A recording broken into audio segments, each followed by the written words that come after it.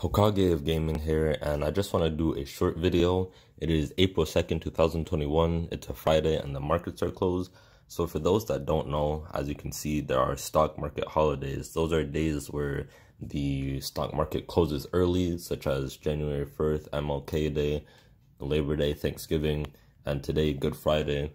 And there are other special holidays, such as market half days. As you can see here, stock market half days.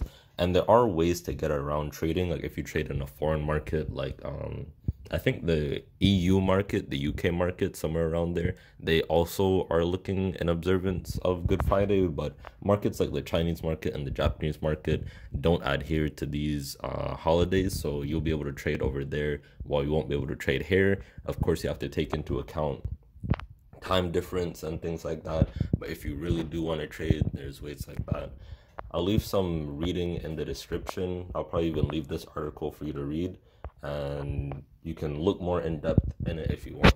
If you watched this far, I want to ask you to please consider subscribing and liking the video.